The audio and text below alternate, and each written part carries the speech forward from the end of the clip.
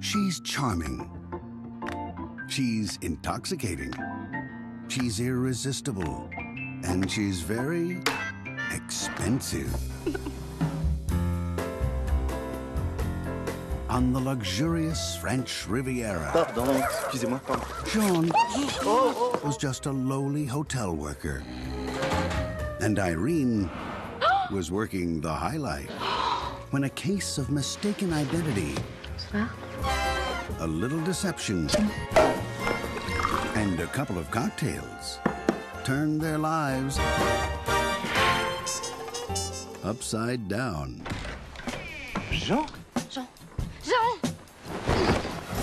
Now, Jean needs to win Irene back, Quoi? No matter what the cost. Even if that means beating her at her own game.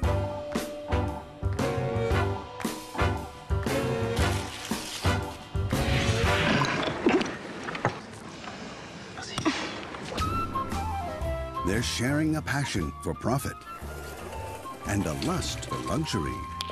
They're rivals in romance, Bonsoir. Bonsoir. Bonsoir. from the tricks of the trade Bah alors to the turn of the screw. They'll keep raking in the money Ah oui. as long as they don't fall for each other. Oh, oh. Amélie's Audrey Tautou and the valet's Gad Elmaleh in a rich comedy where seduction is extravagant, but true love is priceless. Priceless.